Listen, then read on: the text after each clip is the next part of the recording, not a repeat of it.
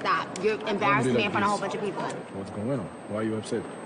Do you not realize that I'm at my video set and I can't push this back? I'm not like you. I don't sit home and hang out.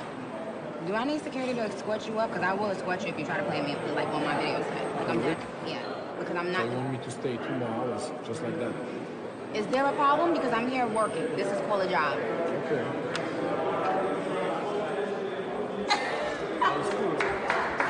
Love you, Lily. That was a good little score. My God, I came in at the end of that and I was like, you thought we were really arguing, right? We'll, keep, we'll just keep doing little pieces of this. All right.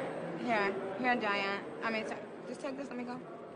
Okay, guys, anybody and everybody who does not need to be in this set, step to the other side, please. Thank you. Acting is very important to me. I'm an actress first, and I don't want to be rapper turned actress. That's not who I am. And so, to me, it would be a slap in the face to every. Vai ser